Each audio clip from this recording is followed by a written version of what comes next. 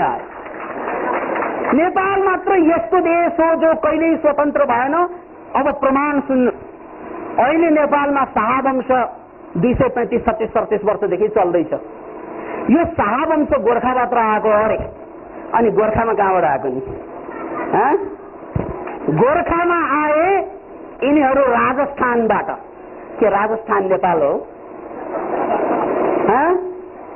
राजस्थानबाट आउने अनि नेपालमा शासन गर्ने।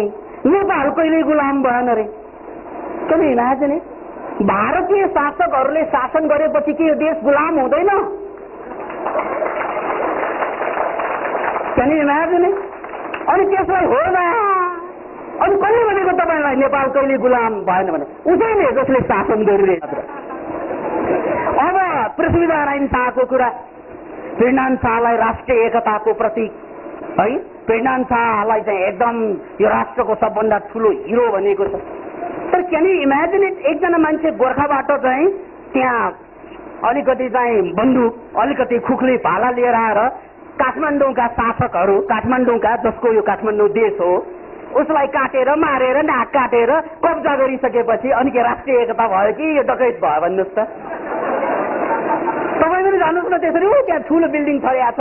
हामी पनि एकताका सूत्रधार भनेर त्यहाँका मान्छे मार्दै मार्दै मार्दै अनि यसको मालिकमा भनेर भन्नु के त्यो राष्ट्रिय एकता हो? त्यसकारण तपाईँले अहिले जसरी सोचिरहनु भएको छ त्यो सोचाइलाई अर्को पाटोबाट पनि हेर्न मिल्छ। अब यो विद्रोह होइन फेरि। यो वैचारिक क्रान्ति हो। याद राख्नु। कसैको नजरमा कोही शासक हिरो बन्छ भने कसैको नजरमा कोही शासक डाकु। अत बन्धुहरू हामीले हरेक कुरालाई यहाँ मैले नमुना के पेश गरेँ भने जसलाई हामी जुन कुराले हामीलाई इतिहासमा छक्याइदिएछ जस्तै त्रिनारायण शाहको कुरा गर्दाखेरि राष्ट्रिय एकताको प्रतीक आदि इत्यादि भनियो अहिले नेपाल पचास जनजाति भएको देश पचास भाषा भएको देश। डाक्टर हर्क गुरुङको तथ्याङ्कलाई यदि सही मान्ने हो भने यहाँ अहिलेसम्म सबै तब्काहरूमा ठुला ठुला पदमा बाहुन र क्षेत्री बाहेक कोही पनि छैनन्। अब के राष्ट्रिय एकता भयो?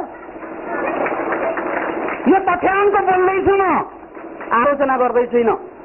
एउटा जाति एउटा भाषालाई प्रशय दिएर अरू जम्मैलाई दबाउने काम जुन गरियो शाहवंशको इतिहासमा त्यसकै परिणाम स्वरूप के यो माओवादी समस्याको विस्फोट? त्यसको परिणाम होइन भन्न सकिन्छ। तराईलाई गएर हेर्नुहोस् पहाडलाई गएर हेर्नुहोस् तराई मधेस हेर्नुहोस् तपाईँले। तराई बेल्ट नेपालको भगारी हो। तराई जम्मै मधेसियाहरूको भूमि हो। तर त्यहाँ जम्मै पहाडियाहरूले अतिक्रमण गर्ने वातावरण बनाइदियो। अब जाने कहाँ मधेसियाहरू इन्डिया?